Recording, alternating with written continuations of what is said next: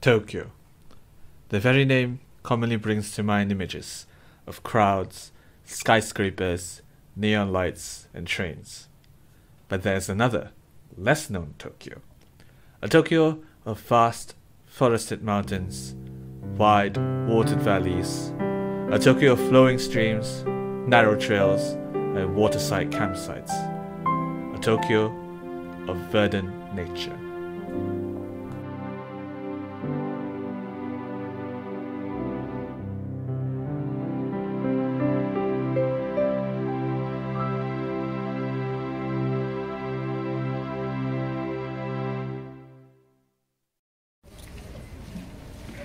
On a crisp, early December morning, I got off at the terminal station in the remote northwestern edge of Tokyo Prefecture, in a quaint rural town enveloped by miles of sheer wilderness.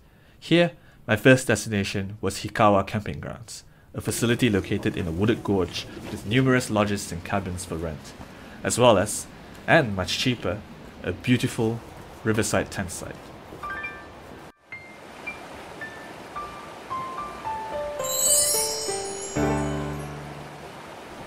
I tented up and unloaded some supplies. Then, it was hiking time.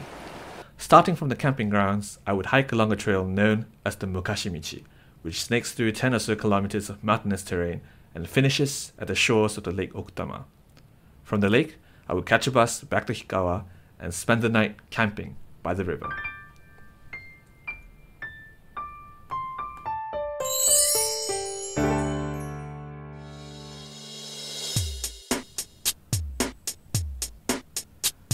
With a pack on my back, I was off to adventure.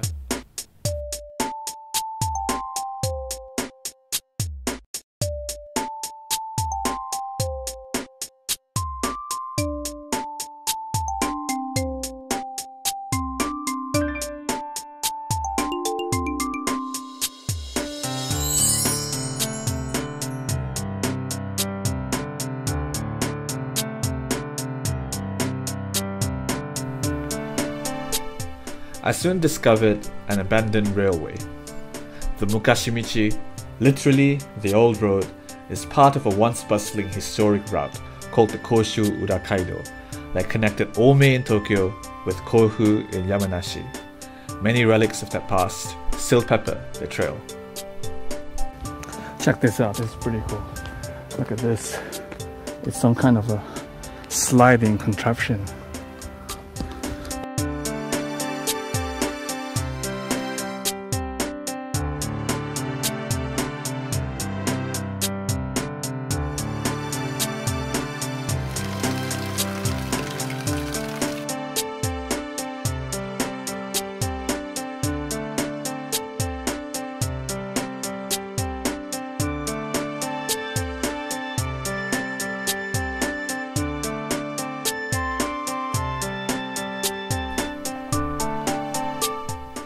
Great, fathomless mountains stretching out as far as the eye can see.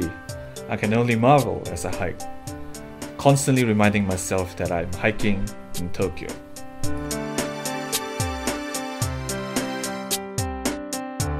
Yep, might surprise you, but this is Tokyo.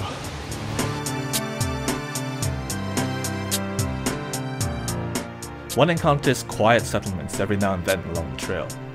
Many of these correspond to old pit stops in a historic road, often featuring old landmarks and shrines.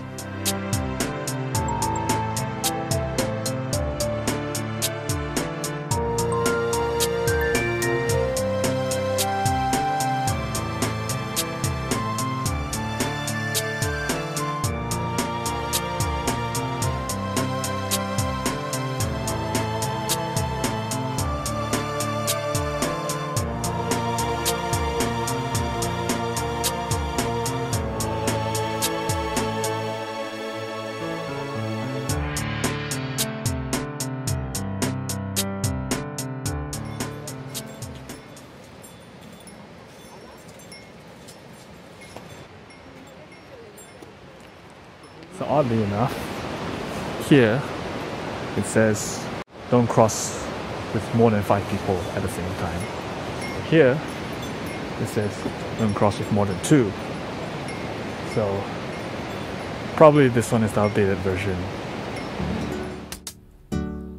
The quaint suspension bridge led to a dead end on the other side, but provided some nice river views. The boards creaked underfoot and did not at all inspire confidence, so I didn't stay for long.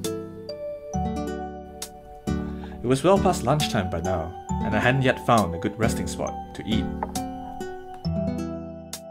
So this is apparently where travelers used to let their horses rest and drink some water. There also used to be uh, quite a few tea houses here, and they would sell stuff like udon and even cigarettes and sake and stuff like that. Kind of a resting spot for the journey. Of course, the tea houses are no longer around. I guess it's nice that there's a resting area for horses, but I need a resting area for humans right now because I need to eat lunch. Soldiering on, I encountered a modernized tea house, even with some English catchphrases, but it was closed. A rest stop was available further up, but So it turns out that there is a resting spot for humans, but it's occupied. Whatever, man. I'm a solo traveler. I'm just gonna randomly sit, plop myself somewhere, and start eating. Today's convenience store selection.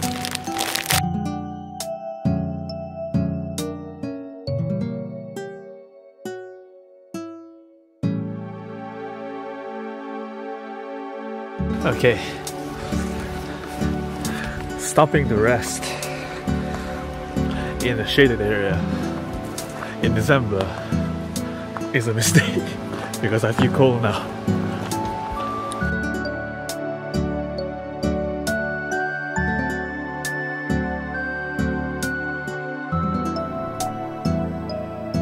another rustic suspension bridge for another precarious view of the river. This one didn't seem too much steadier.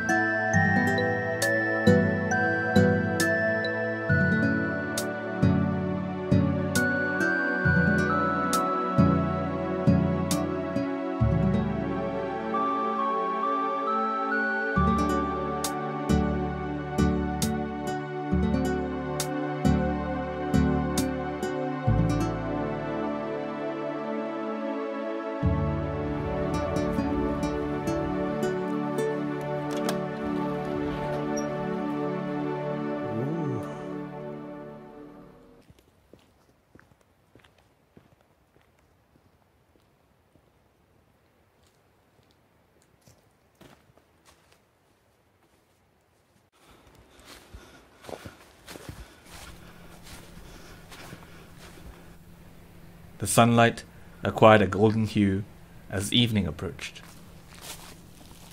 I still had a good bit of hiking left, but an important landmark soon loomed into view, like a proof of my progress.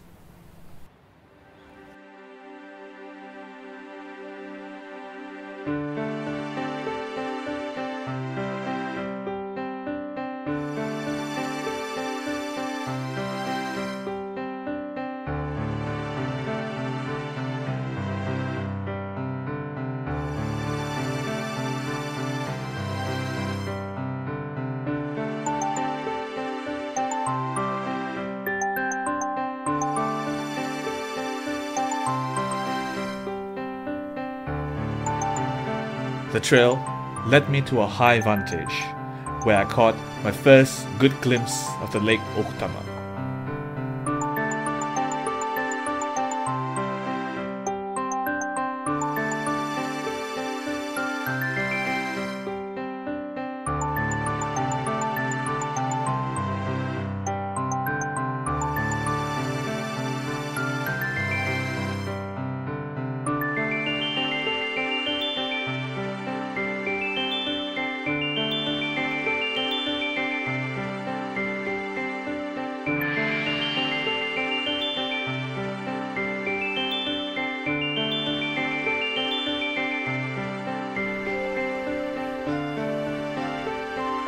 Final section, a series of long, winding switchbacks that led down to the shore.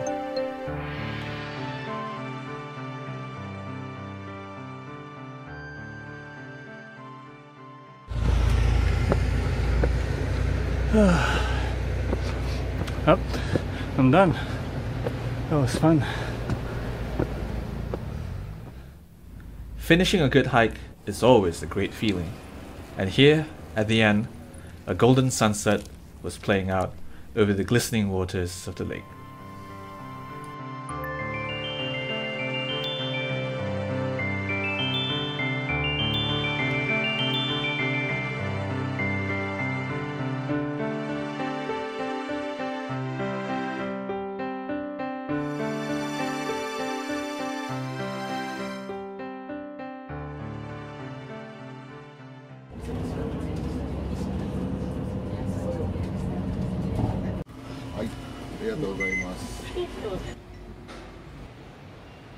That's deer katsu curry.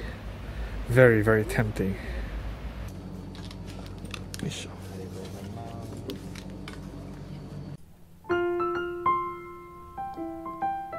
At last, it was time to settle the camp and prepare for a relaxing evening outdoors.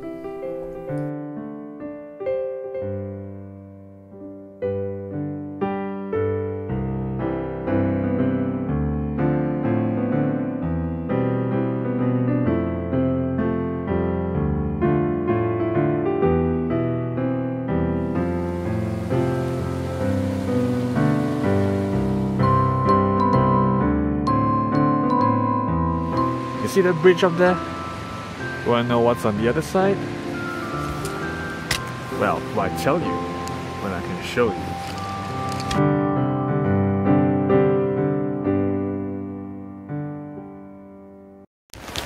Well, this bridge is of course much steadier than the hanging bridges on the trail. In Japan, hiking and hot springs are often inseparable. A match made in heaven, if you ask me.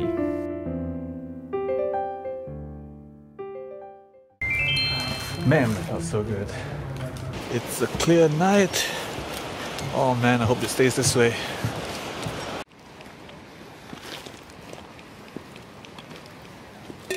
So I'm feeling pretty darn good right now. You know what will make me feel better? A fire.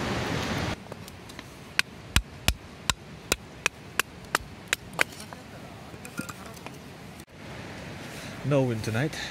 Fingers crossed.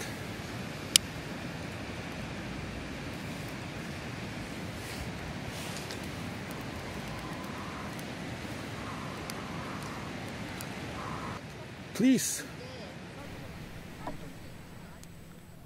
Once before, I had tried to start a fire, with disappointing results.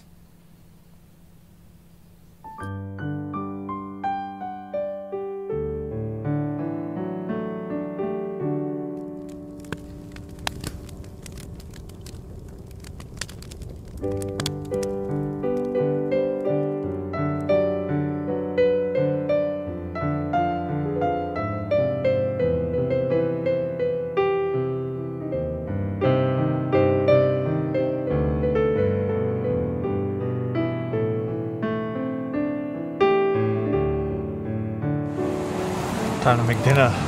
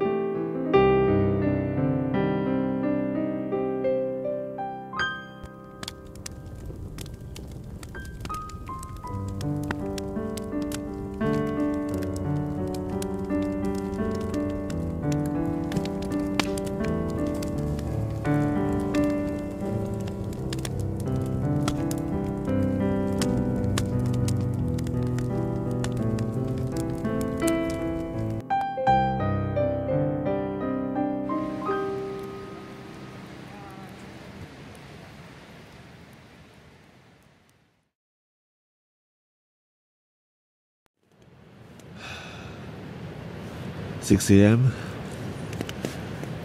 One thing about this campsite, not sure if it's the river or whatever, is that the condensation is insane. Had a decent night. The sleeping bag is great. Oop. Time to start the day.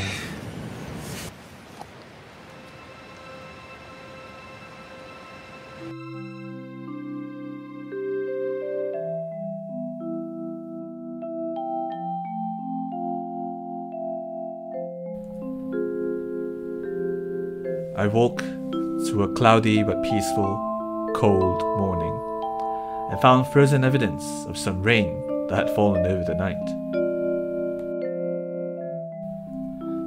Thankfully, I had saved a bit of firewood for now.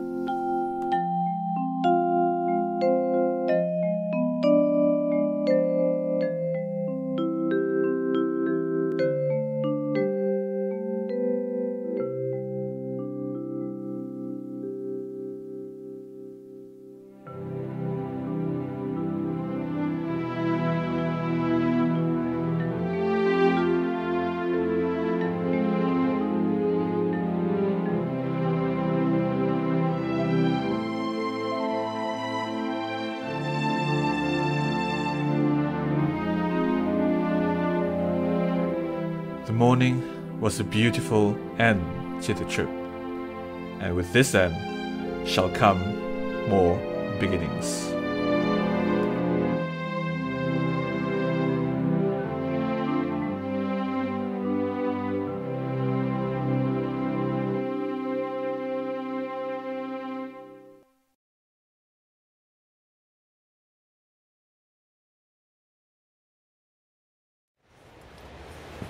You know what's the downside of having a decent sleeping bag?